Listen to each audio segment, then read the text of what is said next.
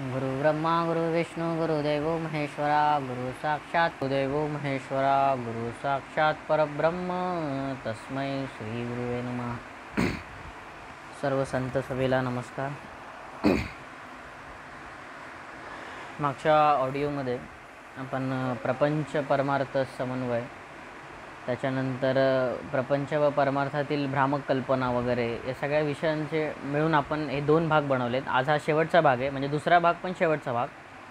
पहिला भागसुद्धा बनवला आहे. आता या याच्यामध्ये या विषयांमध्ये आपण काही मुद्दे घेतलेलेच आहेत. ते जसं आपण चर्चा करूया म्हणजे हे चिंतन करू त्याप्रमाणे हे एक एक मुद्दे येतील. तर भ्रामक कल्पना म्हणजे काय? तर ब्रह्म म्हणजे काय? ब्रह्म म्हणजे काय? एक जग हा एक भ्रमच आहे बघायला गेलं तर. असं संत सांगतात. दृश्य वस्तू हे ज्या ज्या सगळ्या गोष्टी आपल्याला दिसतात तो एका प्रकारचा भ्रमच आहे. त्याच्यामागे पलीकडचे जे सत्य आहे ते शोधण्यासाठी जे तत्त्वज्ञानी जातात तिथे खरा परमार्थ सुरू होतो. म्हणजे पूर्वी तत्त्वज्ञानाची व्याख्या जुन्या काळामध्ये अशी करायची की एका आंधळ्या माणसाने एका अंधाऱ्या खोलीमध्ये काळोख्या खोलीमध्ये एका नसलेल्या काळ्या मांजराचा घेतलेला झा घेत असलेला शोध. अशा प्रकारे ती एक व्याख्या होती. तर त्यावर गुरुदेव रानड्यांनी ती व्याख्या बदलून अशा प्रकारे एक व्याख्या केली की भ्रामक कल्पनांची म्हणजे भ्रामक कल्पना असलेले लोक अशी मोकाट जनावरे परमार्थरूपी शेतामध्ये घुसू नयेत म्हणून त्याच्या बाजूला घातलेलं कुंपण म्हणजे परमार्थ म्हणजे तत्त्वज्ञान एकंदरीत. तर या व्याख्यामध्ये थोडासा विचार जर आपण केला तर कुंपणापर्यंतच गुरुदेवांनी म्हणजे गुरुदेव रानडे यांनी कुंपणापर्यंतच त्याची लेवल ठेवली आहे तत्त्वज्ञानाची पण त्याच्या आतमध्ये जे आहे ते खरं जे शेत आहे त्यातून येणारे पीक आहे ते भावाचं भक्तीचं आणि देवाचं. का आलं कुंपण म्हणजे तत्त्वज्ञान पण त्याच्या आतमध्ये जे आहे ते जे मूळ आपल्याला जे धान्य मिळतं किंवा जे आपल्याला मिळकत मिळेल त्याच्याने ते खरं परमार्थ. म्हणून कुंपणापर्यंत त्याची एक त्यांनी विशिष्ट मर्यादा ठेवलेली आहे. असो तर मुद्दा खूप महत्त्वाचा आहे परमार्थाचा तत्त्वज्ञानाचा की जगामध्ये भरपूर लोक अशी तत्त्वज्ञाने आपल्याला दिसतात. म्हणजे अनेक तुम्ही इंस्टाग्राम किंवा फेसबुकवर किंवा व्हॉट्सअपवर अनेक ठिकाणी असं बघता की सायकोलॉजिकल फॅक्ट्स म्हणजे फिलॉसॉफी फॅक्ट्स वगैरे अशा सगळ्या गोष्टी बघता तर ह्या सगळ्या गोष्टी खऱ्याच असतील अशा मी मानत नाही. म्हणजे मी म्हणजे काय अनेक जणच. कारण ज्याने खरंच अभ्यास केलेला आहे तत्त्वज्ञानाचा किंवा जो याच्यामधून मार्गातून चालला आहे त्यामधले एखादे कोट्स करेक्ट आहेत. जसं की विवेकानंद म्हणतात arise awake and stop not till the goal is reach हे गुरु म्हणजे हे विवेकानंद स्वतः म्हणाले पण होते. असं. म्हणजेच काय हे ज्या ज्या मूळ छोट्या छोट्या कल्पना आहेत त्या अशा बाहेर आणून लोकांना त्या आवडतात. कळलं. त्या आवडतात ते लाईक करतात मग शेअर करतात त्या त्याप्रमाणे त्यांना आवडतं. पण आतमध्ये मुळाशी काय आहे तत्त्वज्ञानाचा भान? त्या भानगडीमध्ये लोक सहसा जात नाही कळलं? मग हाच प्रॉब्लेम आहे आणि हाच आपल्या सर्वात महत्त्वाचा मुद्दा आहे की तत्त्वज्ञान आपल्याला वरवरून आवडतं पण आत्म जाण्याची कोणाची हिंमत नसते. म्हणून भ्रामक कल्पना सुरू होतात. आता हा विषय इथून सुरू होतो की भ्रामक कल्पना येण्याचं कारण काय? तर प्रत्येक महत्त्वाच्या गोष्टी आहेत. प्रपंच एक मी आता जे विषय आपण पुढे मांडणार आहोत त्यामध्ये परमार्थातील एक भ्रामक कल्पना काही आहेत आणि तसेच प्रपंचामधल्या पण काही भ्रामक कल्पना आहेत. म्हणजे प्रपंच परमार्थ समन्वयाचा प्रयत्न आपण करूया. हे फक्त चिंतन आहे. हे अंतिम सत्य अजिबात नाही. परमार्थामध्ये एक लक्षात ठेवा सागर आहे. त्या सागरातलं एक जरी तुम्ही लोटा पाणी घेतलं किंवा एक ग्लासभर जरी पाणी घेतलं तरी त्याला आपल्याला आनंद मिळणारच आहे. लक्षात ठेवा जेवढी तहान तुम्हाला लागली आहे तेवढ्या प्रमाणे तुम्हाला पाणी मिळणारच आहे. ज्याला तहानच लागली नाही तो असंच गेला तर त्याला त्यामधून काय मिळणार नाही. कळालं पण ज्याला शोधायची आवड आहे त्याला तिथे वस्तू सापडूच शकते. परमार्थामध्ये असं आहे की तुम्ही जसं शोधाल तसं तुम्हाला सापडेलच. आणि तुम्ही ज्या प्रकारे गोष्टी शोधताय त्या प्रकारे तुमच्यासमोर येतात. आणि हे असे संतच सांगतात एक लक्षात ठेवलं पाहिजे. कारण जर तुम्ही स्वार्थाने गेलात तर तुम्हाला काही हाताला लागणार नाही. जर निस्वार्थीपणे परमार्थ केला तर तुम्हाला सगळ्या मोत्यांशिवाय दुसरं काही मिळणारच नाही. कळलं त्यामुळे हा खूप मोठा अर्थ आहे बघायला गेलं तर. आणि एक एक आणि परमार्थामध्ये कसं आहे या तत्त्वज्ञान या विषयामध्ये एक आठवण आणि एकच संतांची गोष्ट म्हणजे गोष्ट म्हणजे काय? एकच संतांचं वाक्य म्हणा आणि एकच संतांची आठवण हीच जगामध्ये भरपूर झाली. म्हणजे त्या अख्खं म्हणजे संपूर्ण जीवनामध्ये विचार करण्यासारखं भरपूर झालं त्याच्यावर? पण काय होतं? माणसाला बुद्धी आहे. बुद्धीला बुद्धी म्हटलं की त्यामध्ये संशय येणारच. कळलं? बुद्धी संशयाला धरून असते. कळलं? आणि भाव प्रेमाने धरून असतो. कळलं? तशा प्रकारे तुम्ही एक लक्षात ठेवलं पाहिजे. आता भ्रामक कल्पना आपण लगेच विषयावर येऊ. तर याच्यामध्ये चार महत्त्वाचे पॉईंट्स आहेत. ते पहिले आपण बघू बघूया त्याच्याप्रमाणे. म्हणजे असा एक लिहून ठेवलेला पॉईंट्स आहे की खूप ज्ञान मिळवावं लागतं. म्हणजे परमार्थामधले ब्राह्मकल्पना कल्पना एक पहिला पॉईंट असा आहे की खूप ज्ञान मिळवावं लागतं. तर हे अजिबात चुकीचं आहे. ज्ञान अजिबात नसतं. ज्ञान मिळवावं लागत नाही. ज्ञान हे देवाच्या कृपेने येतं.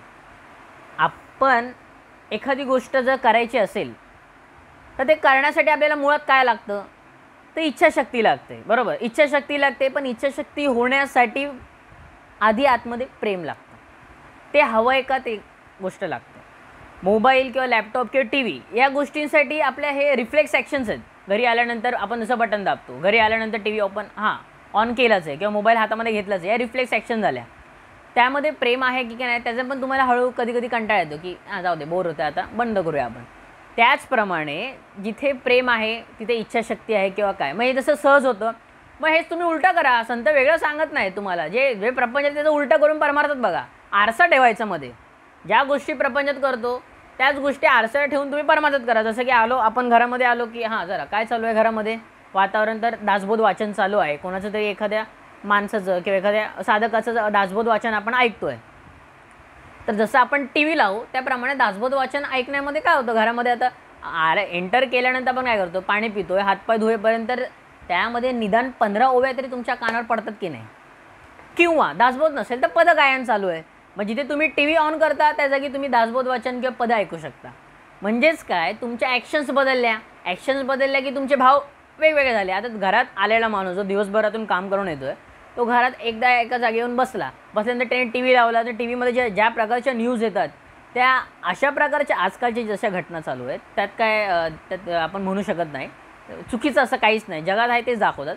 पण त्या घटनांनी मानसिक तणाव वाढणारच आहे. मग त्यापेक्षा जिथे आपण पदं ऐकतो आहे कबीरांचे दोहे आहे किंवा दासबोध वाचन ऐकतो आहे अशा अनेक गोष्टी आहेत. ज्ञानेश्वरीचं पण वाचन असतं. हे सगळं ऐकल्यानंतर काय होतं? मनामध्ये एक स्थिरता येते. एक लक्षात ठेवा. संत असं सांगतात की भगवद्गीता ज्ञानेश्वरी दासबोध हे सगळ्या गोष्टी. या जे संतांचे ग्रंथ आहे आपण असं मानू. संतांचेचा प्रॉपर संतांचे ग्रंथ तुम्ही जर दहाव्या वर्षी वाचत असाल तर अर्थ वेगळा लागेल. पंधराव्या वर्षी वेगळा लागेल विसाव्या वर्षी वेगळा लागेल पन्नासाव्या वर्षी पण वेगळा लागेल. आणि हे ज्याने त्याने अनुभवावं असं मी म्हणेन. कळालं? म्हणजे तुम्ही सांगा अशा गोष्टीमध्ये तुम्हाला स्वतःचा चमत्कार येत असेल तर मला आपल्याला काय वेगळ्या गोष्टी बोलण्याची गरज अजिबात नाही. सो पहिली गोष्ट अशी आहे की खूप ज्ञान मिळवावं लागतं का? तर अजिबात नाही. बसायचं बसायची जी गरज आहे म्हणजे आता आपण आलो घरामध्ये किंवा आपण काही करतो आहे कार्यक्रम त्यामध्ये उगाच मोबाईल हातात घेण्यापेक्षा किंवा उगाच काही वेगळं करण्यापेक्षा पुस्तक हातात घेतलं थोडंफार वाचलं त्यामध्ये विचार निर्माण झाले. मग ज्या गोष्टी आपण रिफ्लेक्स ॲक्शनमध्ये प्रपंचात करतो त्याच आपण जो ऑपोजिट्समध्ये परमार्थामध्ये केलं जसं की वाचन चिंतन मनन प्रवचन ऐकणं आणि हे सगळं निरूपण वगैरे ह्या सगळ्या गोष्टीला आपण त्याचा हातभार दिला. कळलं? तर सिंपल आहे. म्हणजे ते तसंच होऊन जाईल. आणि मग ह्या गोष्टी केल्याने ज्ञान आपोआप मिळेल. मग तुम्ही असं कशा म्हणू शकता की परमार्थात जा- गेल्यानंतर ज्ञान मिळवावं लागतं? या गोष्टीने आपोआप ज्ञान मिळतं. हां कुठल्याही प्रकारचा अभ्यासक्रम नाही जर तुम्ही याला अभ्यासक्रमामध्ये जरी ठेवलं तरी हे अभ्यासक्रमामध्ये बसण्यासारखं नाही. इंजिनिअरिंगचं चार वर्ष होतं एम बी बी एसचं पाच वर्ष साडेपाच काय असेल ते. पण ते कसं त्या त्याप्रमाणे त्या त्या सेमिस्टर वाईज किंवा इयरली पॅटर्नमध्ये होतं. परमार्थ हा इयरली पॅटर्न नाही हा जीवनाचा भाग आहे. त्यामुळे तुम्ही सिलेबस वाईज ठेवू शकत नाहीत. ते तुमच्याच जीवनावर अवलंबून आहे. कळलं? म्हणजे कसं सांगतात की तुमच्यात जे तुमचं जसं आचरण आहे त्याप्रमाणे लोक कसे म्हणतात बघा एखादा लहान मुलगा कुठल्या प्रकारे चुकीचं वर्तन किंवा वर्तन केलं त्यानंतर काय म्हणतो आपण? आईवडिलांचे हे संस्कार आहेत का? त्याप्रमाणे म्हणजे आपण काय करतो? एक आपण एक रिस्पॉन्सिबिलिटी घेऊन वावरत आहोत सगळीकडे. सो परमार्थ हा तुम तुम्हाला कोणी विचारायला येणार नाही की तुला केवढं देवाचं ज्ञान आहे किंवा काय. हे कधी दिसेल? तुमच्या आचरणातून दिसणार. सिंपल सिंपल ॲज दॅट संत तुकाराम महाराज संत कधी झाले? आचरणातून झाले. लोकांना काय दिसलं लोकांनी काय ऐकलं लोकांनी काय पाहिलं बरोबर? हे प्रायोरिटीमध्ये फर्स्ट प्रायोरिटी सेकंड प्रायोरिटी म्हणजे त्यानंतरची गोष्ट काय आहे की त्यांनी संवाद साधला. संतांबरोबर. की ह्याचं असं होतं का त्याचं तसं होतं का? जे जिज्ञासाचे प्रश्न असतात किंवा तत्वज्ञानाचे प्रश्न असतात ते नंतर. मग ते विचारल्यानंतर त्यांना कळलं की अरे महाराजांची जी आहे बाबा की जी बौद्धिक पातळी ती ती खूपच वेगळी आहे. पण त्याच्या आधी ज्या माणसाने आजूबाजूच्या लोकांनी किंवा आजूबाजूच्या सगळ्या व्यक्तींनी आपतिष्टांनी ज्यावेळेस महाराजांकडे पाहिलं म्हणजे संत तुकाराम महाराजांकडे पाहिलं त्यावेळेस ते कसं कळालं? तर आचरणातून कळालं सिंपल म्हणजेच काय? ज्ञान मिळवणं. तर त्यापेक्षा ज्ञान आचरणात आणणं सर्वात महत्त्वाचं कळलं? म्हणजे ज्ञान मिळतंच. आणि असं नाही आहे एक लक्षात ठेवा की तुम्हाला ज्या गोष्टीचं ज्ञान हवं आहे ते तुम्हाला मिळणारच आहे. पण फक्त तुम्ही थोडे प्रयत्न केले तर. हा फर्स्ट पॉईंट झाला. म्हणजे आता याच्या सेकंड पॉईंट काय होता की आचरणावर डिपेंड आहे. आचरणावरच तुम्हाला सगळे लोक ओळखू शकतात. त्याच्यानंतर ज्यावेळेस ते तुमच्याशी कम्युनिकेशन साधायला येतील किंवा आपल्याला संवाद होईल त्यानंतर आपल्याला आणि त्यांना आपली उंची कळू शकते. ओके. हा आता सेकंड असं आहे की चोवीस तास नेम करावा लागतो का? म्हणजे जसं संतांनी पाहिल्यानंतर ते दिवस दिवसभर करत होते किंवा आणि भंडाऱ्याच्या डोंगरावर तर तुकाराम महाराज सहा सहा दिवस जायचे नामस्मरणाला. तर आता कसं आहे याचं उत्तर जे नवीन तत्त्वज्ञ आहेत किंवा आधुनिक संत जसं की गुरुदेव रानडे बाबासाहेब बेलसरे असतील त्यानंतर सोनमपंत दांडेकर असतील हे सगळे जे नवीन आपल्या पिढीतले आहेत किंवा या निदान आणि यांना जाऊन पण काय सत्तर ऐंशी वर्ष झालेली आहेत मो जो मोजूनच किंवा तेवढी पण नसतील झाली कमीच झाली आहेत. मग आता ह्यांनी कसं आचरण केलं? म्हणून कसं आहे की दोन पार्ट पडतात तत्त्वज्ञानाचे भ्रामकल्पना का होत आहेत? कारण सगळेजणं मोस्ट ऑफ दी जे लोक आहेत त्यांनी फक्त सगळ्या संतांनाच पाहिलेलं आहे. त्यांचं जीवन आणि त्यांचा आयुष्याचा भाग. पण काय होतं आहे की त्यांच्या जीवनामध्ये आणि आपल्या जीवनामध्ये थोडासा फरक आहे आणि तो आता थोडासा नाही तर खूप सारा फरक झालेला आहे. त्यांचा काळ वेगळा होता कॉम्पिटिशन वेगळी होती एज्युकेशनची लेवल वेगळी होती. आताचा काळ वेगळा आहे. पण त्याने काय साध्य होतं आहे पण संतांच्या ज्या गोष्टी त्यांनी त्यावेळेस सांगितल्या त्या आजही खऱ्या आहेत उद्याही खऱ्या आणि शेवटपर्यंत खऱ्याच राहतील. त्यांनी जीवन कसं जगण्याचा मार्ग सांगितला आहे त्यांनी जे जे भोगलं आहे ते कधी आलं नाही बघा. संत तुकाराम महाराजांनी कधी सांगितलं नाही की मला केवढी दुःख झालेली आहेत. त्यातून तुम्हाला काय शिकता येईल एवढंच त्यांनी सांगितलं आहे कळलं? नामदेवांनी पण कधी असं सांगितलं नाही आहे की माझ्या आयुष्यामध्ये आलेली दुःख काय? त्यांनी फक्त सदैव संतांचंच आपल्या संतांचंच कौतुक देवाचंच कौतुक आणि सद्गुरूचंच कौतुक एवढंच केलेलं आहे म्हणजेच काय? आपला पर्सनल जो भाग असतो तो कधी संतांनी दाखवलेला नाही आहे तर पॉईंट इज की आधुनिक संत का? विवेकानंदांपासून आता मी ज्यांची नावं घेतली त्यांचं का? कारण ते आत्ताच्या जगण्यामध्ये आलेले आहेत. त्यावेळेस शिक्षण अवे होतं अवेलेबल ते आणि ते स्वतः पण भरपूर शिकलेले होते. ते याच मार्गातून गेले. मग असं नाही की वेगळा मार्ग घेतला होता. तत्त्वज्ञान या मार्गामधूनच गेलेत. आणि ते जगनमान्य जगप्रसिद्ध पण होते. प्रत्येकजण याच्यामधले. आता वारकरी संप्रदायाचे सर्वात मोठे अर्धव्य आपण म्हणतो. मामासाहेब दांडेकर सोनोपंत दांडेकर होतेच. आणि त्यांचे गुरु विष्णू बुवा जोगा हे पण लक्षात ठेवा. त्यानंतर गुरुदेव रानडे. तर गुरुदेव रानडेचं तुम्ही बोलू शकत नाही. कर्नाटकमधलं सर्वात मो सर्वोत्तम सर्वश्रेष्ठ संत ते होते. आणि आहेत आज तर काय ते आहेत.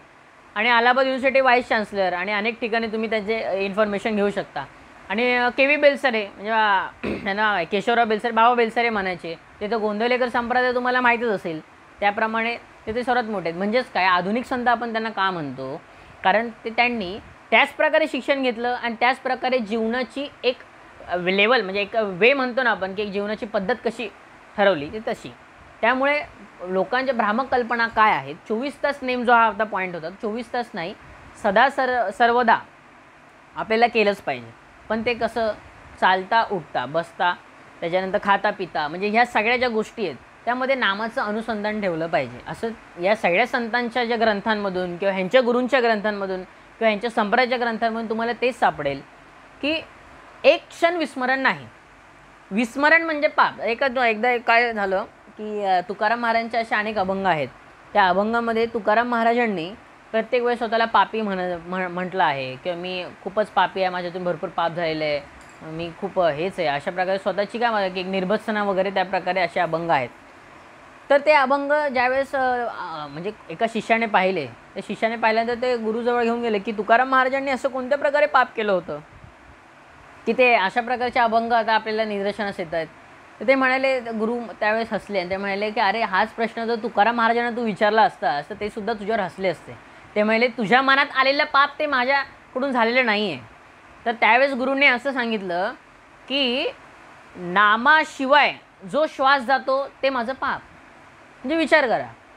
असं एके ठिकाणी संत मुक्ताबाई पण असं म्हणतात की जेवढे श्वास घेतले सगळे देवालाच गेले कळलं? दुसरा श्वास घेतलाच नाही मी संपूर्ण आयुष्यामध्ये.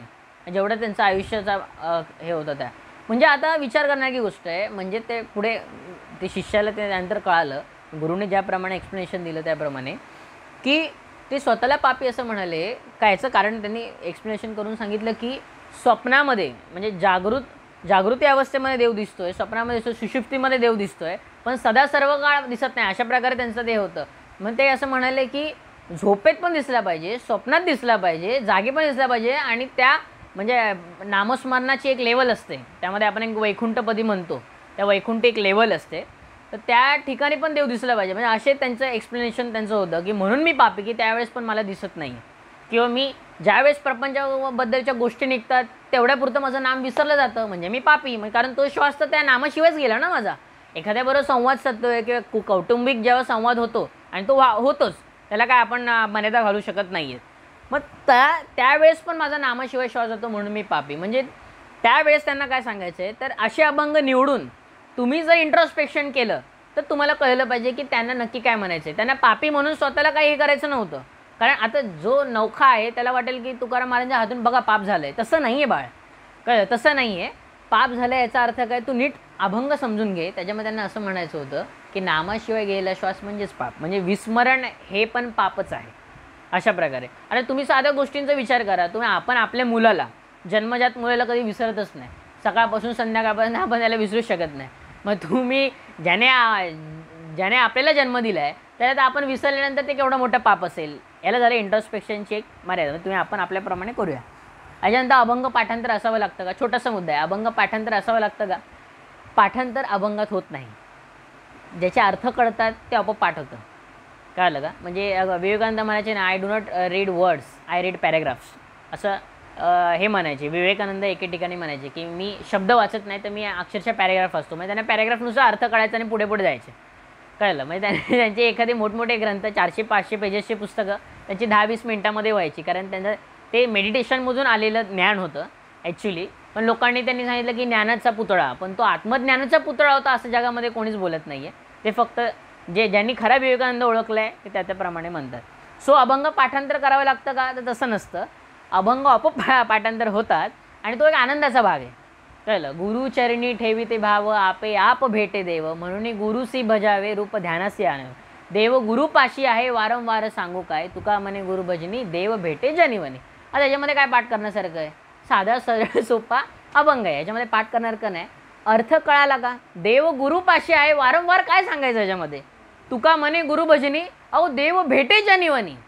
कळलं का? म्हणजे जो कोणी येऊन भेटतोय तो माझ्या देवासारखाच आहे. कळलं? ना खाली आहे ना वर आहे. तो श्रीमंत असला तरी शिवाजी महाराजांना खूप मोठी ट्रीटमेंट दिली होती का तुकाराम महाराजांनी की आता खूप हां नॉर्मल त्यांचं सा सगळ्या गोष्टींच्या म्हणजे संभाषण झालं होतं किंवा सगळं झालं होतं.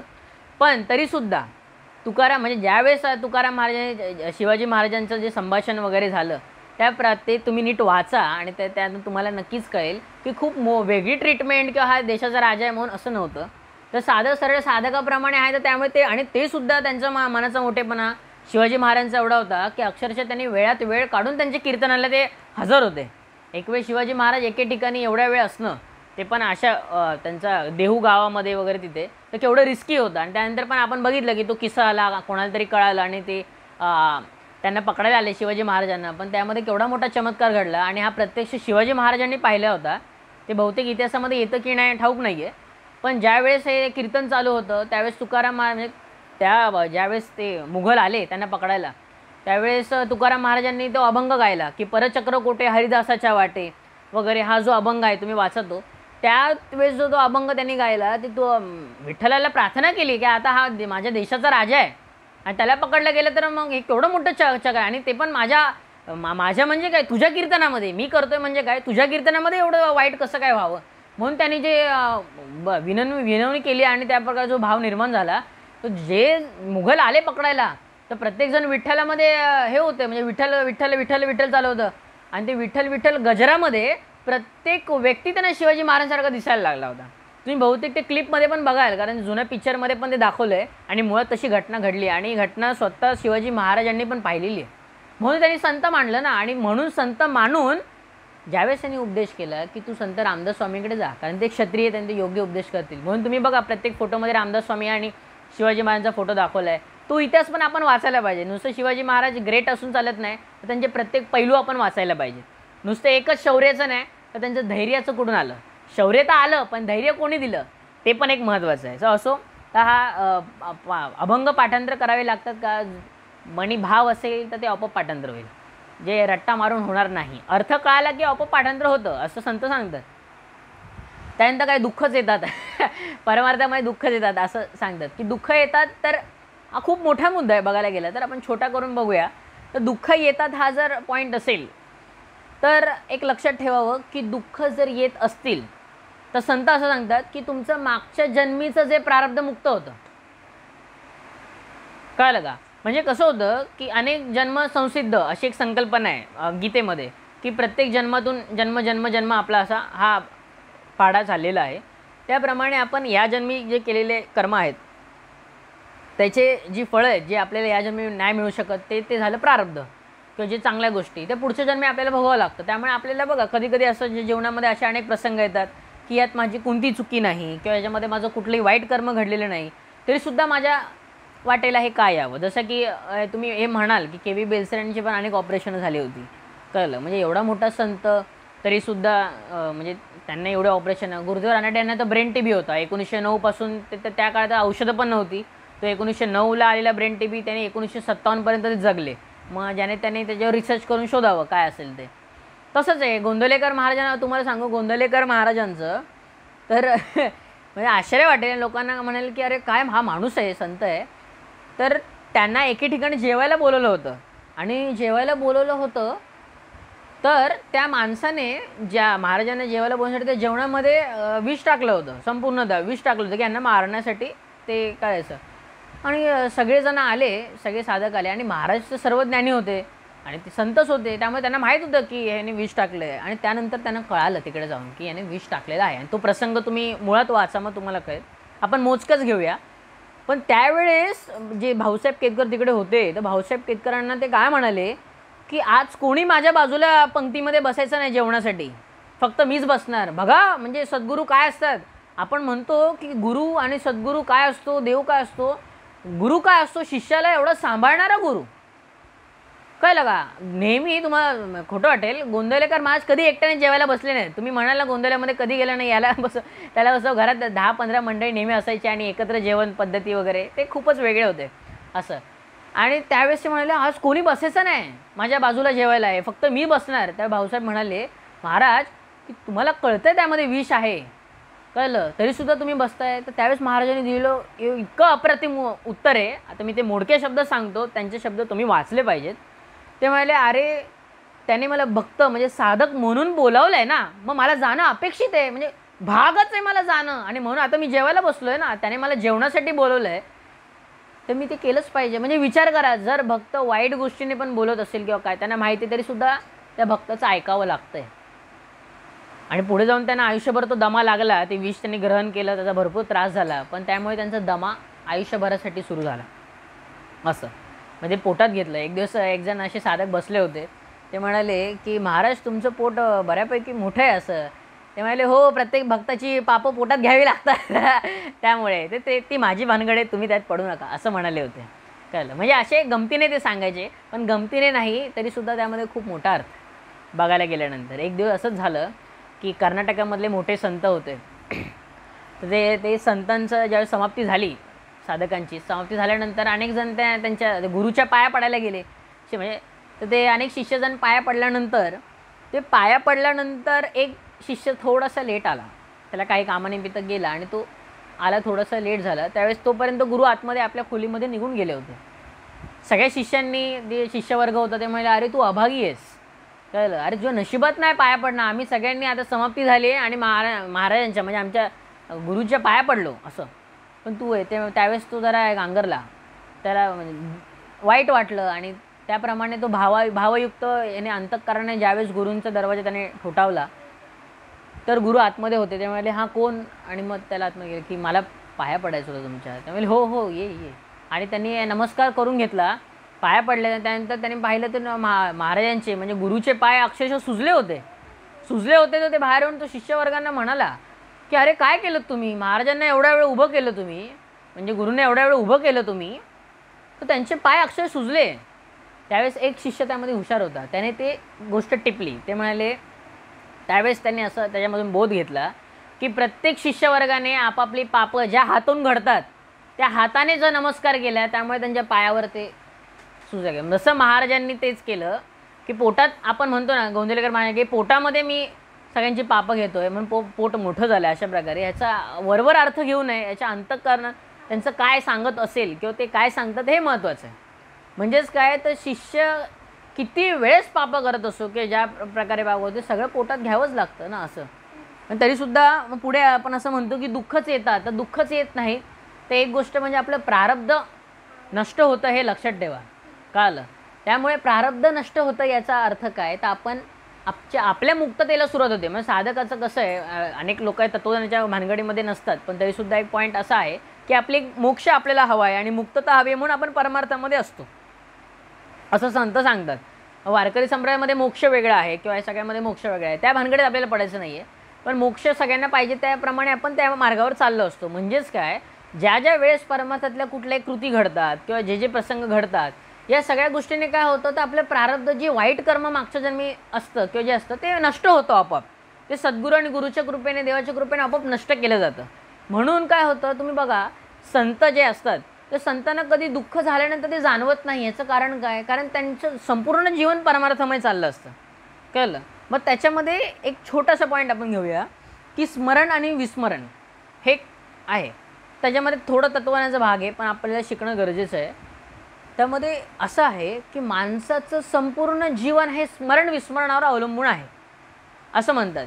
ज्या गोष्टीचं स्मरण आहे त्या गोष्टीप्रमाणे माणूस करतो आता प्रपंचाचं स्मरण तुम्हाला सांगून ठेवावं लागत नाही की अरे हा माझा प्रपंच आहे या गोष्टी मला कराव्या लागतात. तसं नाही. ते स्मरण आणि ते कर्तव्य त्याच्यामध्येच येतं. त्यामुळे तुम्हाला ते स्मरण करण्याची गरज नाही. आणि त्याचं विस्मरण पण आपोआप होत नाही. पण परमार्थाचं स्मरण करावं लागतं. कारण आपल्याला सगळ्यांना कसं वाटतं की देव हा बाहेरची गोष्ट आहे. पण बघ गीतेत सांगितलंय तुझा आत्माच आत्माकार आहे तेच ब्रह्म आहे. ब्रह्म म्हणजे नाम. कळलं? मग तूच नामाकार आहे म्हणजे तूच देवस्वरूप आहे अशा प्रकारच्या संकल्पना मांडल्या आहेत म्हणून देव कसं बाहेरची संकल्पना नाही आहे ती तुझ्यामधूनच आहे. आणि असं पण तू परमार्थ केल्यानंतर तुझं आचरण बदलतं त्यामुळेच अनेक समाजाला त्या गोष्टी दिसतात ना. म्हणजे थोडासा विषय अवघड आहे तरी हळूहळू समजा मी काय म्हणतोय एका प्रकारे. कारण काय? ब्रह्म मीच आहे आत्मा मीच आहे. आत्माचं निराकार आहे वगैरे सगळ्या ज्या गोष्टी आपण मांडतो गीतेमध्ये तत्त्वज्ञानामध्ये त्यानुसार कसं आहे की जे नाम घेतोय किंवा जे देव आपण बाहेरून आणून म्हणतोय ते तसं नाही आहे देव आपण बाहेर बघतोय ते कशासाठी? तुझ्या आत्म्याला एक आरसा दाखवण्यासाठी भगवंत तिथे आहे. आणि त्याची उदाहरणं आणि त्याचे एक्झाम्पल्स त्यांनी जन्माला घातलेले आहेत. एक्झाम्पल्स नाही म्हणू शकत जन्माला घातलेत. पण ते संत तुझ्यासमोर आहेत असं आपण म्हणू. हा चुकीचा वर्ड आहे. पण ते संतांचा एक आरसा तुझ्यासमोर आहे आणि तो आरसा समोर असल्यामुळे काय होतं? तर तुझ्या आत्म्याला तोच आरसा दाखवतो आणि ते दाखवून दाखवून काय होतं? तर तुझं आचरण आपोआप बदलतं. बरोबर? म्हणजे तूच आत्माकार झाला त्यामुळे वेगळं आणून बाहेरून आणून दाखवायची गरज अजिबात नाही.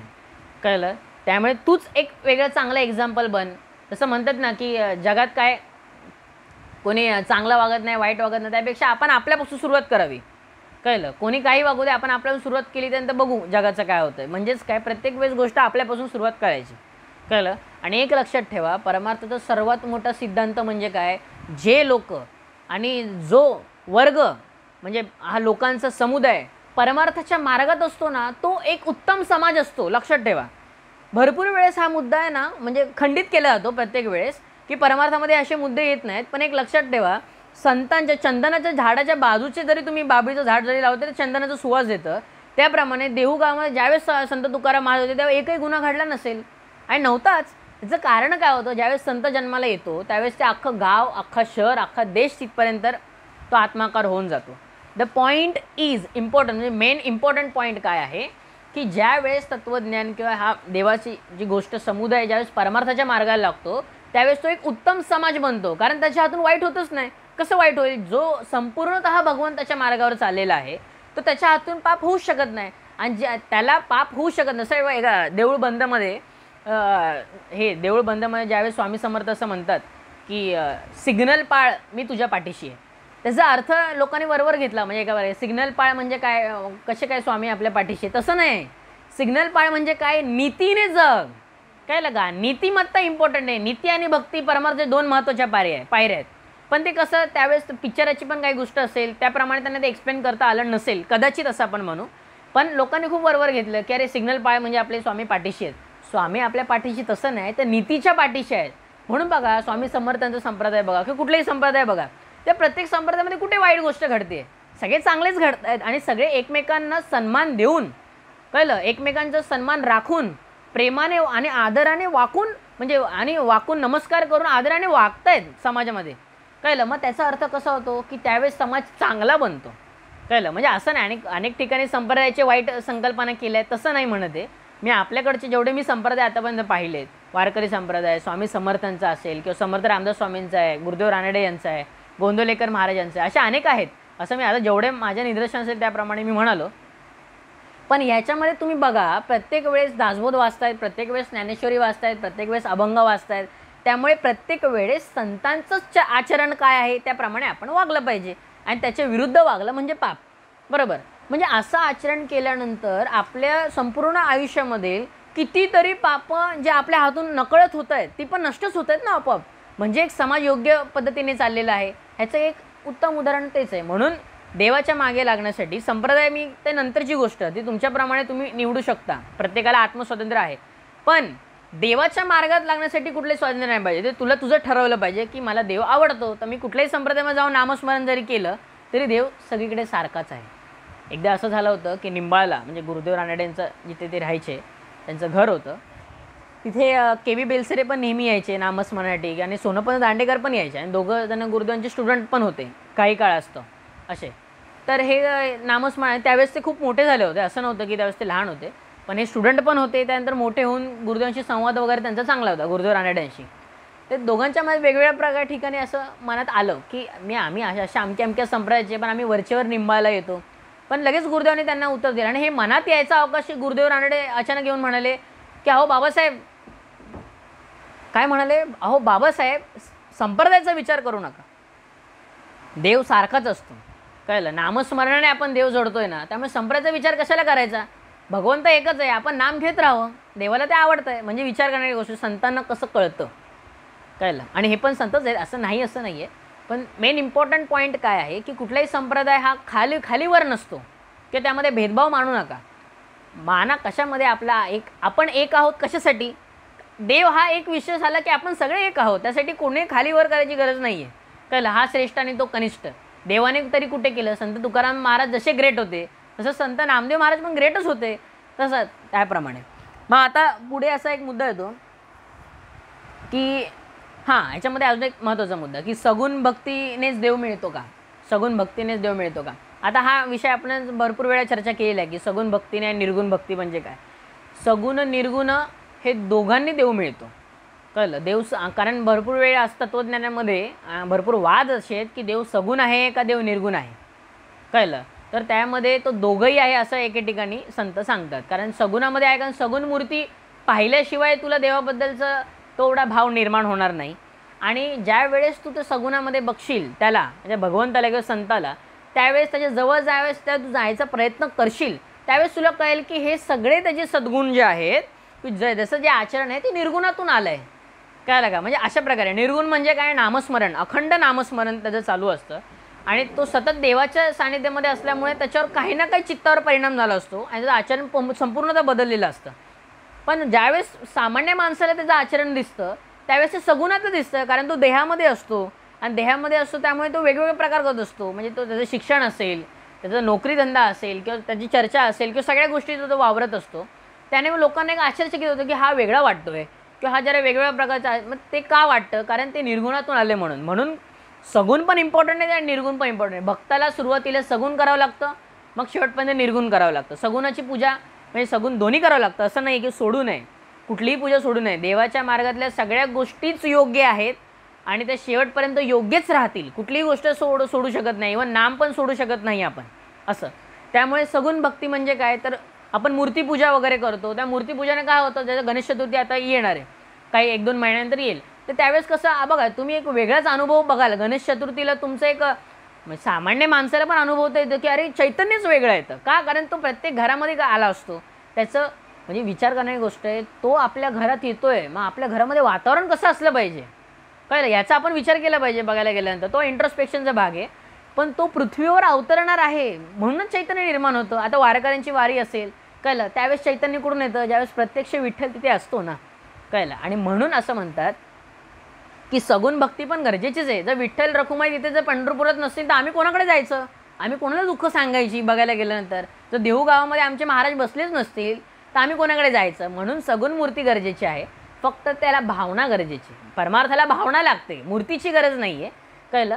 पण कसं असतं ना सहवास गरजेचा सत्संग महत्त्वाचा आता एखा एखादा माणूस एखाद्या खोलीमध्ये बसून शंकराचार्य आणि रामदास स्वामी तो होऊ शकत नाही आहे रामदास स्वामी तर सोडच पण शंकराचार्य पण होऊ शकत नाही की दहा बाय दहाच्या खोलीमध्ये संपूर्ण ज्ञान दिलं त्या माणसाने. तर तसं होऊ शकत नाही. तेवढं आपण तयार नाही आहोत.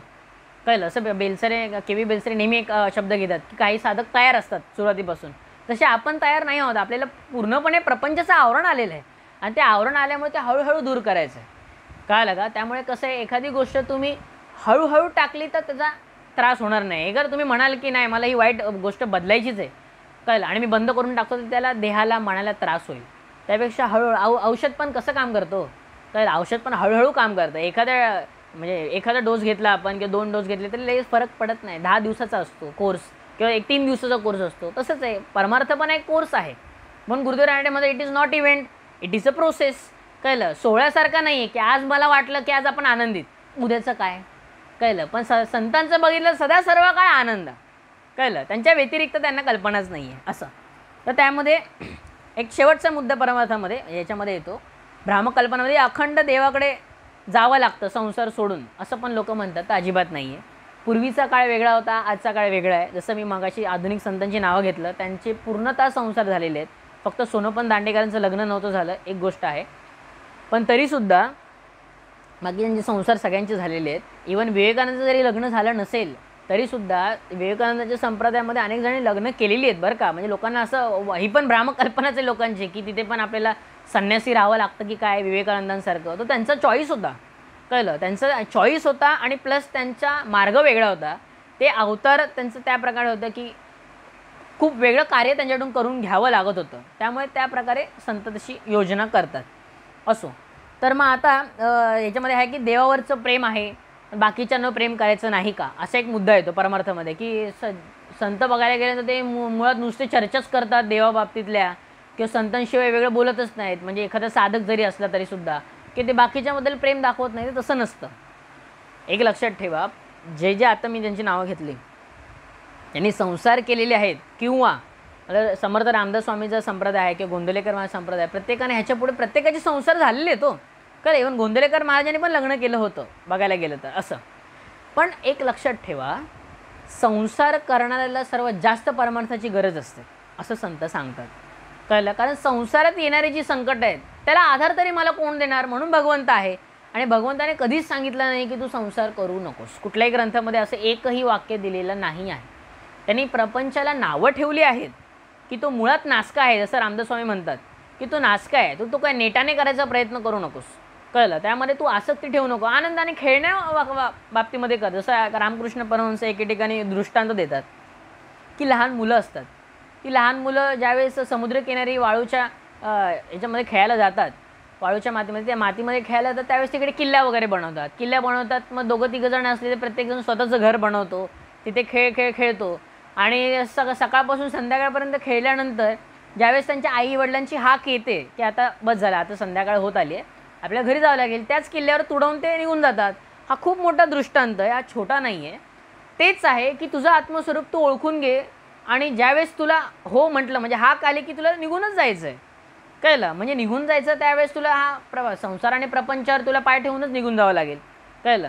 पण तसंच आहे. मग तो कसा आहे? नऊ ते पाचपर्यंत एवढं गुंतून जायचं.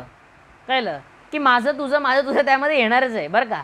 पण एकदा हाक आली की त्यावर पाय थोडं निघून जायचं. मन एक लक्षात ठेवा. याचा उलटा अर्थ लोक असं घेतील की म्हणजे पूर्ण संसार करायचा आणि शेवटी हाक आले की निघून जायचं. तसं नाही आहे नऊ ते पाच म्हणजे दिवसाचा टाईम घे. मग नऊ ते पाच तुझी नोकरीमध्ये तुला पूर्णतः काम करायचं आहे एकदम परफेक्ट काम करायचं आहे कोणी नावं ठेवली नाही पाहिजे तुला. कळलं? पण एकदा तुला देवाची हाक आली की आता संध्याकाळी झालं, आपल्या घरी जावं लागेल किंवा आता आपल्याला प्रापंचिक गोष्टी परमार्थिक पण गोष्टी आहेत त्यावेळेस तुला देवासाठी वेळ काढला पाहिजे. असं. मग आता ह्याच्यामध्ये एक छोटासा मुद्दा. आता हे सगळे मुद्दे झाले पारमार्थिक भ्रामक कल्पनेचे. ते मी खूप वरवर घेतलेत बघायला गेल्यानंतर. पण एक लक्षात ठेवा एक एक मुद्द्यामधून तुम्ही जर इंट्रोस्पेक्शन केलं कळलं? म्हणजे माझ्या चिंतनाचं नाही माझ्या अजिबात चिंतनाचं म्हणत नाही आहे पण ह्या या एक एक मुद्द्यातून जर आपण थोडंसं आत्मनिरीक्षण आणि इंट्रोस्पेक्शन त्यामधून जर केलं तर आपल्याला खूप उत्तरं मिळण्यासारखी आहेत. कारण आपण देवाला खूप चुकीचं समजून आपण जगतो आहे अक्षरशः. तो संपूर्णतः आनंदच देतो आहे कळलं. इवन आता मगाशी मुद्दा आला होता की दुःख दूर करतोय याचा अर्थ काय? तुझे प्रारब्ध कमी केल्यानंतर तुझ्या मुक्ततेला सुरुवात होतीये ना? बरोबर. प्रारब्ध कमी केल्यानंतर देव काय करतो? अहो बहुतेक माणसांना आपण असं बघितलंय की प्रत्येक साधकाला असे बघितलेत की त्यांच्यावर दुःख आल्यानंतर तरी सुद्धा ते एवढे शांत कसे काय असतील? त्यावेळेस शक्ती देणारा कोण आहे? भगवंतच आहे. पण ती शक्ती येण्याचं जो सोर्स आहे त्यावेळेस देव म्हणतो ते नामात आहे. कळलं? त्यामुळे तू जीवनभर जर नाम घेशील तर तुला मी ती शक्ती देईल. आणि भगवंताची सद्गुरूंची शक्ती नामात आहे असं संत सांगतात. जिकडे नामात आहे त्यामुळे येणारच आहे. कसं होतं? श्री विठ्ठल किंवा नारायण श्रीराम श्रीकृष्ण श्रीहरी हे जी नामं आहेत या नामाने काय होतं?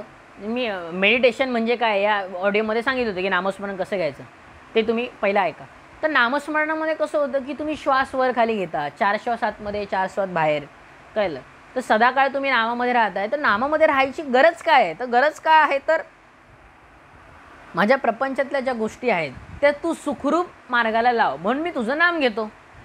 जसं की मला पैसा मिळावा म्हणून मी नोकरी करतो. त्याचप्रमाणे ही चाकरी पण केली पाहिजे देवाची कारण त्याने जन्म दिला आहे तर ते केलंच पाहिजे. आता ज्यांना हे अजिबात मान्य नाही नास्तिक आहेत पूर्णपणे. नास्तिक कोणी नसतो अज्ञान ज्यांना आहे त्यांनी अजिबात करू नका आणि हे ऑडिओ अजिबात ऐकू नका. देवाबद्दलचं ज्ञान खरंच नका मिळू कारण खूप वेगवेगळ्या प्रकारचे अर्थ निघतात. पण ज्यांना देवाबद्दल थोडीफार जरी आस्था आहे तर त्यांनी नामाला पहिलं लागलं पाहिजे. म्हणून सगुण निर्गुण हा मग अशी मुद्दा आला ना तो कारण काय की सगुण भ भक्तीमध्ये कसं होतं की देवपूजा करणं इथपर्यंत देव राहतो. त्यानंतर त्याच्याने माझा संबंध तुटतो. पण तसं संबंध नसतो. सम कळलं का? तुमची फॅमिली आहे तिथे संबंध तुम्ही असं करता का? सकाळी एक तास बोलता आणि संध्याकाळी एक तास बोलता. मग पूर्ण दिवसभर आपण बायकोशी आणि आईवडिलांशी बोलायचं नाही. असं असतं का? नसतं. मग ज्याने सर्वस्व दिलं आहे समजलं. ज्या सगळ्या गोष्टी तुम्हाला दिल्या आहेत तशी संवाद साधणं गरजेचंच आहे. कळलं? गरजेचं आहे म्हणजेच काय? महत्त्वाचं आहे? कळलं? तो एक जीवनाचा भाग बनला पाहिजे.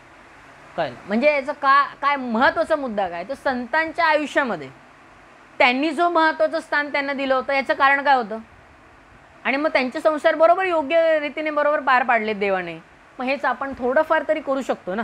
की निदान त्याच्या अनुसंधानामध्ये राहिल्यानंतर की काय फरक पडतो त्या मी लास्ट ऑडिओमध्ये बोललो होतो की एक वर्ष निदान आपण एक प्रॅक्टिस करूया. की आपण हा एक वर्षभर देवाचं फक्त चिंतन करू देवाबद्दलच्याच गोष्टी ऐकू बोलूया कल जेवढं जमेल तेवढं लिहूया आणि आठवणी ऐकूया की बघूया याचा काय अर्थ निघतो. देव बघू ना काय सहाय्य करतो. आणि एक वर्षभर तुम्ही यस याच्यामध्ये एक सर्वात अजून एक महत्त्वाचा मुद्दा येतो की संगती. तर त्या संगतीमधून पण बाहेर येतात. जे चुकीच्या आता आजकाल लोकांचं कसं असतं की जे डिमोटिवेट करणे लोक आहेत त्यामध्ये आपण बसलेलो असतो. त्यामुळे आपल्याला काही येतच नाही वेगळं. कळलं? आपण दुसऱ्याला मोटिवेट करत नाही ना काय करत नाही अशा अनेक गोष्टी घडत असतात. मग यांच्यामध्ये बसण्यापेक्षा उठण्यापेक्षा चर्चा करण्यापेक्षा आपण फक्त परमार्थ जर केला. एक वर्षभर फक्त कॉन्ट्रॅक्ट बेस एक वर्षभर. तर बघू काय फरक पडतो. काहीतरी फरक तर निदान पडेलच ना. आणि माझं एवढी निश्चित मी निश्चितपणे सांगतो एक वर्ष हा खूप मोठा टाईम झाला. तुम्ही एक महिनाभर जरी केलं ना तरी लोकांना वाटतं की अरे हा बाबा बदलला की काय? किंवा काय वेगळं झालं की काय? असं. म्हणून काय डोळसपणे केलं महत्त्वाचं आहे. आता भ्रामक कल्पना हा मूळ विषय काय होतो? कारण लोकांना खूप हा वेगळा वाटतो. परमार्थ भाग म्हणजे त्यांना वाटतं की अखंड त्या म्हणतो ना आपण की एखाद्या राजस्थानाच्या किंवा वाळवंटामध्ये अखंड चालत राहणं कळलं. आणि ते पण पाणी न मिळतं ते चालत राहायचं आणि देव मिळवायचं असं भाग नसतो. जे अर्ध्यावर मागे आलेत ना त्यांच्या या भ्रामकल्पना आहेत जे सदाकाळ चालत राहिले त्यांना आनंदच मिळालेला आहे. कळलं? त्यामुळे सगुण भग आणि निर्गुण का? निर्गुणामध्ये तुला ठीक आहे बसायचा वेळ नसेल तर निर्गुणामध्ये तू चालता उठता बसता बस पकडेपर्यंत खाली शिड्या आहेत. दहा शिड्या आहेत आणि दहा शिड्या वीस शिड्या आहेत. उतरेपर्यंत नाम आलं संपला विषय. पुढे आपण गेटच्या बाहेर गेलो मग पुढे रिक्षा पकडली ते स्टेशन येईपर्यंत नाम घेतलं. स्टेशनवरून आपण कॉलेजला जाईपर्यंत कामावर जाईपर्यंत नाम घेतलं. त्याने काय होईल सदा काय आपण नामात राहतोय. नामात राहतोय म्हणजे काय होतं माहिती काय अजून एक मुद्दा. चिटकून. नामात राहतोय म्हणजे काय? तर मी नाव घेतोय कोणाचं तरी. नाव घेतोय म्हणजे काय? विठ्ठलाचं नाव घेतलं तर विठ्ठलाला ऐकायला येतं ना. बरोबर? तो म्हणतो अरे बाबा हा माझं नाम घेतोय. म्हणजे आता ह्याच्या आयुष्यामध्ये आपल्याला उतरायला पाहिजे. आणि तू सदा काय तुझं नाम घेत असशील तर विठ्ठला चिंता लागून जाईल ना. अरे बाबा माझं एवढं नाम घेतो याचं काहीतरी आयुष्यामध्ये थोडंफार तरी आपण बदललं पाहिजे. किंवा तो काहीतरी संकटामध्ये आता तुम्ही म्हणाल संकट आल्यानंतर आपण देवाकडे जातो. मग त्यावेळेस देव आपल्या काहीतरी नवस किंवा अनेक गोष्टी पूर्ण करतो. जे काय भानगड असेल ती. ते पूर्ण करतो. बरोबर? म्हणजे आपण पारा पारायणं करून आपल्याला हवं ते उत्तर मिळतं तशाच प्रकारे. पण तेच पारायण आपण आयुष्यभर केलं तर किती मजा आहे? कळलं? मग आपल्या संकटासाठी देवाकडे जायची गरज नाही आणि सदैव काय सुख आपल्या पदरातच आहे. आणि हे हे मी वरवर सांगतोय सगळं. एक लक्षात ठेवा ज्या वेळेस तुम्ही ग्रंथ वाचाल संतांचे प्रॉपर सगळे ग्रंथ वाचा. कळलं? आणि नाम घेत वाचा. ते वाचा आठवणी ऐका. आता मी ज्यांची नवीन आधुनिक संतांची चरित्र ती पण वाचा. त्यानंतर तुम्हाला एक मार्ग मिळेल की भगवंत काय असतो तो काय चमत्कार करतो आणि त्यांनी त्याच्यासाठी काय काय केलेलं असतं. कळलं? म्हणून सगुण निर्गुण एकच आहे आणि आयुष्यभर निर्गुणात राहायचं. असं. त्यामुळे आता हे झाले परमार्थिक भ्रामकल्पना. आता प्रपंचातल्या खूप छोट्या आहेत आणि त्या एकदम निष्फळ आहेत बघायला गेल्यानंतर. त्यामुळे आपण थोडक्यात ते घेऊया. त्यामध्ये एक महत्त्वाचा मुद्दा असा येतो की पैशाने सर्व सुख मिळतं आणि पैसा शेवट साधेल. तर ते अजिबात नाही आहे की ज्याने पैसा कमवला तो शेवटच्या क्षणी पैसावरती घेऊन जाऊ शकतो का? आता अजिबात नाही. ते आपल्याला सा सर्वसाधारण माहिती आहे. पैशाने सुख कधीच मिळत नाही. काय होतं? खूप मोठा आपला एका प्रकारे आजार झाला आहे आजार झाला आहे तर आपल्याला एक चांगली देवाने अशी वेळ आणून दिली की आपल्याला फोर्टीस किंवा मोठ्या हॉस्पिटलमध्ये आपल्याला मुलं एवढी चांगली दिली की आपल्याला त्यांचे त्यांनी आपली सोय केली त्या हॉस्पिटलमध्ये. पण मला एक सांगा पैशाने त्यांनी ती सोय केली. तुमच्यावर ऑपरेशन झालेलं आहे तुम्ही तिथे आहात. जे दुःख तुम्ही सहन केले तर तीन चार तासामध्ये ते वाटायला कोणी आलं का? ते पैशाने वाटता आलं का? अजिबात नाही. मग त्यावेळेस तुम्हाला करा आणि ठीक आहे त्यावेळेस तुम्हाला इंजेक्शन देऊन तुम्हाला दुःख कळलं नसेल. आपण असं पण मानूया. पुढच्या आयुष्यामध्ये ज्यावेळेस तुम्ही पाच दहा वर्ष जे जगाल किंवा जे काय जगाल त्यावेळेस जे शरीराला झालेलं दुखणं तिथे वाटायला कोणी येणार आहे का? नाही. म्हणजे पैशाचं उदाहरण काय? म्हणजे निष्फळ आहे पैसा. बरोबर? पोटामध्ये ज्यावेळेस आपण दोन तीन टायमाचं अन्न खातो बरोबर? मग आपण खूप पैसा कमावला तर आपली पोटं वाढत आहेत का? तर अजिबात नाही. म्हणजे थो तेवढंच पोट आहे तेवढंच खाणार आहे तेच आहे सगळं. आपण काय करतो सर्वात महत्त्वाचा मुद्दा जे सगळेजण विसरतात आणि याची चिंतन करणारी गोष्ट आहे म्हणून आपण आपल्या गरजा वाढवलेल्या आहेत. साधं सरळ उत्तर. खूप खूप गरजा वाढवल्या आहेत. स्टुडंट असताना विद्यार्थी असताना तुला कुठल्या गोष्टीची गरज नाही आईवडील जेवढे आणतील तेवढे राहतो. पण ज्यावेळेस तू जॉबला लागतो आहे किंवा नोकरी एखादी चांगली पत्करतो आहे त्यावेळेस एक शर्ट ज्यावेळेस तू शंभर रुपयाचं घेतो ते हजार रुपयाचं होतं म्हणजे नऊशे रुपये एक्स्ट्रा बरोबर? म्हणजे छोटी छोटी उदाहरणं घेतो आहे काही वेगळं नाही आहे याच्यामध्ये. कळलं? टी व्हीमध्ये जेवढं याच्यामध्ये बघता येईल तुला अजून मोठा घ्यायलाच पाहिजे. काय भानगड आहे? जे दिसणार आहे दिसणार. आहे असं पण तो निष्फळच आहे. कळलं? मग मला सांगा गरजा कोणी वाढवल्या? आपणच आपल्या वाढवल्यात. बरोबर? खायला जे पोटामध्ये मिळणार आहे जे लहानपणापासून ते मी शेवटपर्यंत खाणार आहे ते माझ्या आवडीचं आहे. बटाट्याची भाजी जी असेल किंवा भेंडीची भाजी आहे ती तीच राहणार आहे. त्यामध्ये खूप सोनं टाकून आपल्याला वेगळा स्वाद तर लागणार नाही आहे हाच पॉईंट आहे. साधं सरळ सोपं तुम्हाला गोष्टी कळाल्या की परमार्थ सुरू आहे. खूप महत्त्वाचा मुद्दा आहे. कारण सगळ्या मोठ्या गोष्टींची चर्चा करायच्या आहेत कळलं? भगवंतावर भरपूर बोलायचं आहे. कळलं? अरे हे हा ग्रंथ वाचा तो ग्रंथ वाचा ह्याच्यातले रेफरन्स घ्यायला त्यांनी ते ग्रंथ लिहिलेत. विचार करा. त्यांचं माइंड काय असेल? आणि तू फक्त रेफरन्स घेतो आहे इथून तिथून आणि मग आपल्याला बोलायचं आहे किंवा आपल्याला प्रवचनाला जायचं आहे बाबा किंवा तिथून पैसा मिळणार म्हणून मोटिवेशन घ्यायचं आहे पण ते साधंच जगले होते. अहो गुरुदेव रानडे शेणामातीच्या घरामध्ये राहायचे. कळलं? साधे कपड्यांमध्ये राहायचे. अक्षरशः साध्या कपड्यांना कोणी म्हटलंसुद्धा नसेल की अरे बाबा एवढा मोठा व्यक्ती असं के व्ही बेलसरे सुद्धा तसे. सोनोपन दांडेकर पगडी बिगडी घालून लेक्चरला वगैरे जायचे. ते खूप मोठ्या पदवीला होते ते एस पी कॉलेजला पण. मग साधे सरळ जगले ना पण महत्त्वाचं काय? देव मिळवणं महत्त्वाचं आहे आणि आनंदी राहणं गरजेचं आहे. लोकांचं कसं होतं? आनंदाच्या मार्गाला लागतात पण परमार्थ नको आहे. म्हणजे कसं चालेल? कळलं? म्हणजे कसं आहे? जेवण हवं आहे म्हणजे सगळं मला ताटामध्ये सगळ्या गोष्टी हव्या आहेत कळलं? सगळं हवं आहे पण मी त्यासाठी काय मेहनत घेणार नाही आहे कसं काय? मग आपोआप मिळेल का? चमत्कार तर नाही आहे ज्या गोष्टी तुला हव्या आहेत त्यासाठी मेहनत करून पैसा मिळून तुला ते मिळवायला पाहिजे. म्हणजे कष्ट आहेत. कळलं. मग तसंच आहे परमार्थामध्ये पण सेमच गोष्ट आहे ना. वेगळं तर काहीच नाही. कष्टाशिवाय फळ आहे का? अजिबात नाही. पैसा हे नाही आहे परमार्थ हा सुख समाधानावर अवलंबून जी गोष्ट मिळेल पदरात ते भगवंताला असं म्हणावं जसं एकदा असं म्हणाले होते. म्हणजे एक छोटीशी गोष्ट पण खूप महत्त्वाची आहे. गोंदवलेकर महाराज एकदा के व्ही बेलसऱ्यांशी बोलत होते. आणि बोलता बोलता ते असं सहज एकदा म्हणाले की काय कसं चाललं आहे केशवराव? ते म्हणाले ठीक चाललं आहे असं म्हणाले. काय म्हणाले? ठीक चाललं आहे ते म्हणाले अच्छा ठीक चाललं आहे मग थोडा विषय हे गेल्यानंतर थोडाफार झालं ते म्हणाले असं म्हणू नये ठीक चाललं आहे असं. असं म्हणावं की याच्याहून काय अजून चांगलं पाहायला मिळणार आहे असं म्हणावं. कळलं? ठीक चाललं याचा अर्थ काय होतं माहिती का? की मला मर्यादित सुख आहे. म्हणजे आता काय हे ठीक चाललं आहे मग बरं चाललं याच्यामध्ये काय आनंद नाही असं. पण आहो सदाकाळ आपण नामात आहोत परमार्थात आहो आनंदात आहोत तरीसुद्धा आपण असं म्हणावं का की हां बाबा ठीक चाललंय. अहो आनंदित आहोत आपण. ह्या माझ्यासारखं समाधान तर कोणालाच नाही आहे म्हणजे गर्वाने आणि अहंकाराने नाही. तर देवाचं एवढं सुख मिळतं आहे की याच्यापेक्षा आनंद कशातच नाही हो. ज्या वस्तूमध्ये आनंद मिळतोय तरी ती नाशवंत आहे. सगळी ध्येय नाशवंत आहे असं संत सांगतात. तुम्ही इंजिनिअरिंगचं ध्येय घेतलं तरी ते तुम्ही पूर्ण केलं तर ते नाशवंतच झालं. कळलं? म्हणून गुरुदेव एका ठिकाणी असं म्हणायचे की ध्येय असं असावं की त्यापुढे कोणतं ध्येय नसावं म्हणजे ईश्वर प्राप्ती कळलं? अखंड पूर्णतेकडे वाटचाल. खूप मोठे मोठे सिद्धांत आहेत. पण एक लक्षात ठेवा की नामात आनंद आहे. आनंद समाधानात म्हणजे या सगळ्या गोष्टी छोट्या छोट्या गोष्टीमध्ये आपण खूप मोठे विचार करायची गरज नाही आहे कळलं? साध्या सरळ सोप्या गोष्टी आनंद. पुढे आहे प्रेम म्हणजे सुख. कळलं? आता शेवट शेवटचाच भाग आला आहे प्रेम म्हणजे सुख. तर लोकांना असं वाटतं प्रेम हा हा याच्यावर खूपच वेगळा मुद्दा मी घ्यायला पाहिजे आणि वेगळं चिंतन केलं पाहिजे. तर प्रेम हे वस्तुत किंवा एखाद्या व्यक्तीवर नाही आहे त्याच्या भावनावर डिपेंड आहे. कळलं? मी सदैव आपल्या त्या चिंतनामध्ये नेहमी येतं की प्रेम देत राहा देत राहा जेवढं. अपेक्षा करू नका. कळलं? तुम्ही ज्या पॉईंटला द्यायला सुरुवात कराल ना म्हणजे प्रेम कळलं? त्याच्यापेक्षा दहा पटीने तुमच्यापर्यंत येईल. अहो भगवंताने काय केलं? भगवंताने अहो ज्या ज्या संतांनी देवावर इतकं प्रेम केलं की आज आपण आस्था गायत ते गेल्यानंतर शेकडो वर्षाने आपण त्यांच्यावर प्रेम करतोय. बघा आता. अहो एक वेळ विठ्ठलाला आपण मागे टाकतो पण आपण दवे ज्ञानेश्वर असं म्हणाले संत ज्ञानेश्वर असं म्हणाले माऊली असं म्हणते महाराज असं म्हणतात. कळलं? अहो एक वेळ आपण विठ्ठल काय म्हणतो हे कुठे म्हणतोय? कळलं? एवढं आपण संतांना डोक्यावर घेऊन बसलोय. म्हणजेच काय? त्यांनी त्यांच्या आयुष्यामध्ये भगवंतावर म्हणजे विठ्ठलावर इतकं प्रेम केलं की आज आपण त्यांच्यावर शेकडो वर्षानंतर त्यांच्या वाऱ्या जो चालू आहे किंवा इतकं प्रेम करतो आपण त्या संतांवरच एवढं प्रेम करतो. मग विचार करणारी गोष्ट आहे म्हणून ते देत राहा. त्यांनी कुठे मागितलं? असं. तर प्रेम म्हणजे सुख म्हणजे जे माणसांमध्ये नाही आहे कारण माणसं पण नाशवंतच आहेत. प्रत्येकाला जायचंच असतं निज घरी. त्याप्रमाणे जेवढं जोपर्यंत आहोत त्यापर्यंत त्यांना दुःख देऊ नये. कुठल्याही गोष्टीमध्ये. आणि संघर्ष असू नये. सर्वात महत्त्वाचा पॉईंट हा येतो की संघर्ष असू नये. भक्तामध्ये किंवा साधकांमध्ये किंवा घरामध्ये सुद्धा.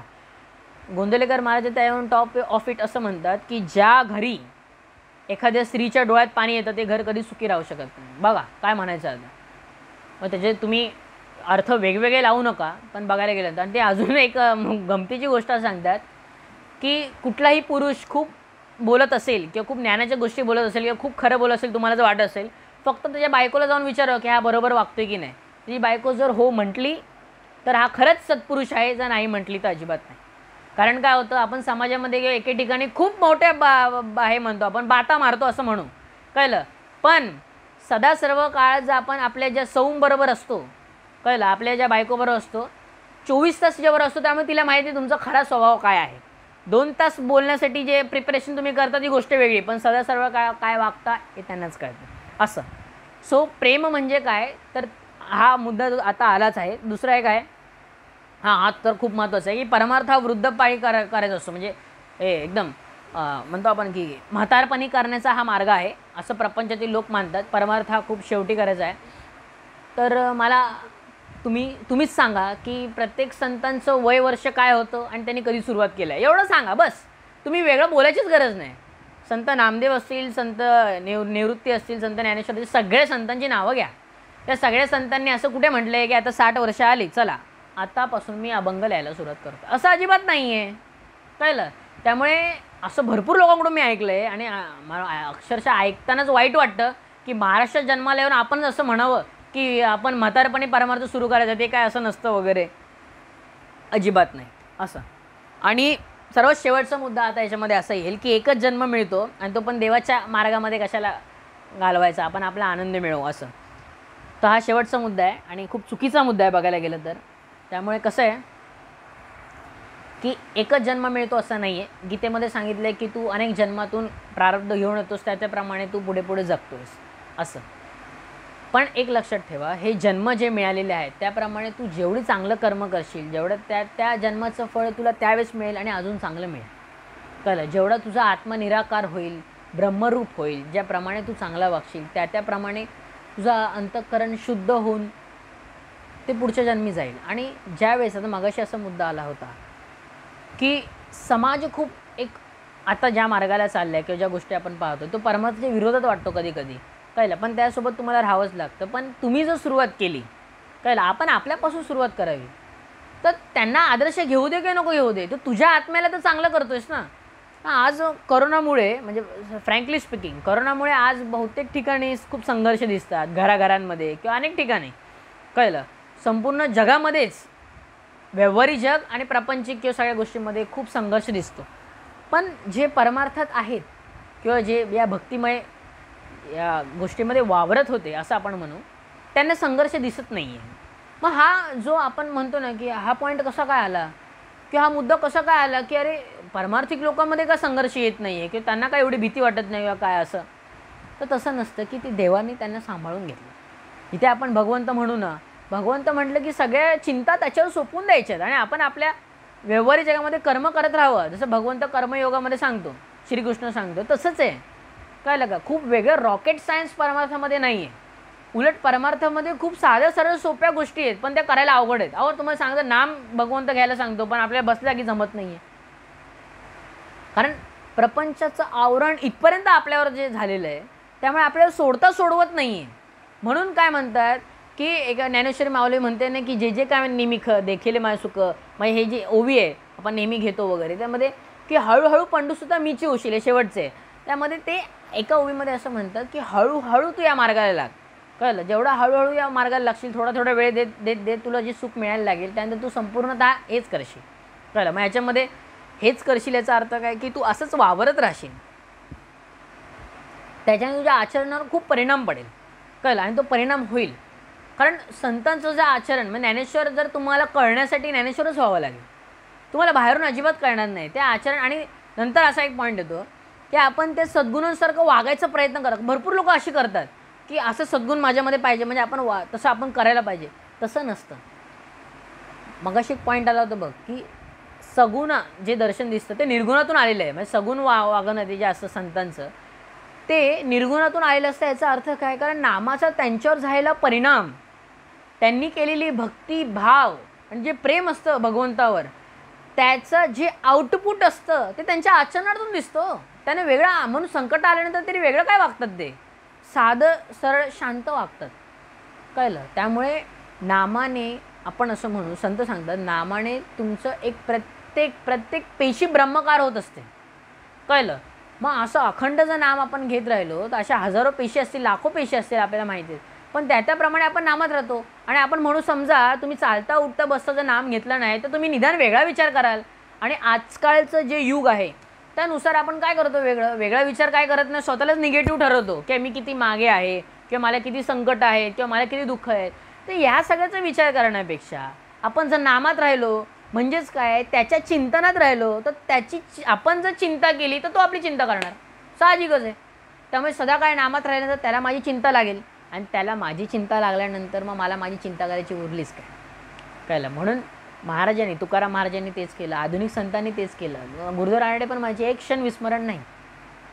कळलं? गोंदलेकर माझे महाराज म्हणायचे की मांडीला कान लावा रामनाम ऐकू येईल. विचार करा. म्हणजे त्यांचं सांगणं कसं होतं? आपण वरवर ऐकतो. पण सांगणं होतं माझ्या चराचरामध्ये एक एक पेशीमध्ये नाम आहे. कळलं? राम राम ऐकू येईल म्हणजे काय? कबीर म्हणायचा राम राम तर ते त्यांचे राम अक्षरशः उभा राहायचा. त्याच्यासमोर विचार करा. केवढं नाम त्याचं झालं असेल की तो एवढा रा राम नामामध्ये होता की अक्षरशः भगवंत राम तिथे उभं राहायचा. रामचंद्र प्रभू उभे राहायचे. म्हणजेच काय? तर आपण जर नामात राहिलो तर त्याची शक्ती आपल्याजवळ येते. बहुत आणि ह्याला खूप मोठा अभ्यास किंवा तत्त्वज्ञानाची भानगडाची गरज नाही आहे म्हणून म्हणालो की प्रॉपर ग्रंथ वाचा. तत्त्वज्ञानाच्या भानगडीत पडू नका. जसं गुरुदेव रानडे म्हणाले ना कुंपणाचा भाग येतो. आतमधलं शेत आणि पीक आहे ना ते फक्त खरा भगवंत आणि सद्गुरू आहे. त्याच्या कृपेनेच तुम्हाला येईल. म्हणून मग अशा मला ज्ञान मिळवावं लागत नाही ते आपोआप येतं. कळलं ते आपोआपच येणार सगळ्या गोष्टी. तुम्हाला कुठलीही गोष्ट कष्ट करायची गरज नाही. फक्त तुम्ही तुमचा अंतकरण द्या. एकदा गो भाऊसाहेब केतकरांना अचानक एकदा गोंदलेकर महाराज म्हणाले होते की अहो भाऊसाहेब तुमचा प्रपंच माझा. ते मला घेऊन टाका. कळलं? नंतर बाबासाहेब बेसराने त्यांना विचारल्यानंतर ते म्हणाले की अहो एवढा मोठा व्यक्ती जर म्हणत असेल की तुझा तुमचा प्रपंच आमचा तर मग? स्वामी समर्थ म्हणत आहे की मी तुझ्या पाठीशी आहे. कळलं? मग हे पण आरायचा वेग stop not till the goal is reach मग विवेकानंद म्हणतो की थांबायचं नाही आता आपल्याला पुढे जायचं आहे मग हे सगळेजण माझ्या पाठीशी आहेत. तर आपल्याला घाबरायची गरज काय? का घाबरतो माहिती आहे का? आपला अविश्वास. आपल्याला आपला मित्र जर एखादा मेसेज टाकला ना हां माझ्यामध्ये कॉन्फिडन्स आला. माझा मित्र म्हणतोय ना हे होईल तर होईल. म्हणजे आईवडील म्हणतात ना हे होईल तर होईल. म्हणजे बायको म्हणते नवरा म्हणतो होईल. पण जो साक्षात भगवंत आहे तो म्हणतोय मी तुझ्या पाठीशी आहे तर मला नाही जमणार. बा कसं काय? कारण तो तुम्हाला दिसत नाही म्हणून ना. तुम्ही त्याला म्हणताय फोटोमध्ये. कळलं का? आपल्याला खूप आहे म्हणतात भ्रामक कल्पना हो. कळलं? आपल्याला जाणवता असं नाही आहे की जाणवत नाही आपल्याला. जर जाणवलं नसतं ना तुम्ही कधी देवळाची दारं बंद करून टाकली असते. तुम्हाला जाणवतं येते ते की देव देऊळ म्हणजे देव. कळलं? देव आहे हे सगळं जाणवतं आहे पण काय होतं? कशाला बाबा त्या दुरून नमस्कारवर आहे आपले दुःख कोणाच्या मागायला कबीर म्हणायचं नाही ज्याला घरादाराला आग लावायची माझ्यासोबत चला. कळलं? कारण या वाटेला दुःख आहेत पण एक लक्षात ठेव. तो उचलून घेतो. कळलं तर दुःख तुला जाणवून देत नाही. बहुतेक प्रसंग आहो तुम्ही मी म्हणतो म्हणजे माझ्या स्वतःच्या अनुभवानुसार असं म्हणा वाटलं तर. तर प्रत्येक जो माणूस जो भगवंताच्या मार्गात आहे त्याची चर्चा करा. कळलं? त्याला आलेले अनुभव विचारा प्रत्येक गोष्ट विचारा. चर्चा करून आपण आपली श्रद्धा वाढवली पाहिजे. कळलं? श्रद्धा वाढवणं खूप महत्त्वाचा भाग आहे. नुसतं एका ठिकाणी बसून अजिबात होत नाही. सत्संग हवा चांगली संगती हवी त्यामुळे हा पण महत्त्वाचा पॉईंट आहे. संगतीचा परिणाम भरपूर होतो. कर्ण दुर्योधनाच्या नादी लागला. वाईट झालं की नाही? तोच कर्ण जर कृष्णाकडे आला असता किंवा अलिप्त जरी राहिला असता तरी त्याला मोक्ष मिळाला असतो. कळलं? काय झालं असतं? अहो कर्णाने कोणाची बाजू जरी नसती घेतली ना तरी तो कृष्णाचा आवडतो झाला असता. कळलं? कृष्णाला असं नव्हतं की जो माझं नाम घेईल तोच श्रेष्ठ. कळलं? नीती महत्त्वाची जो चांगला वागेल तिकडे देव आहे. म्हणून काय म्हणालो की स्वामी समर्थ म्हणाले सिग्नल पाळ मी तुझ्या पाठीशी याचं सर्वात मोठं उदाहरण की नीतीने वाघ जिकडे नीती तिकडे भक्ती. कळलं? भक्तिप्रेम हा सगळं असल्यानंतर भगवंत काय लांब राहणार आहे का?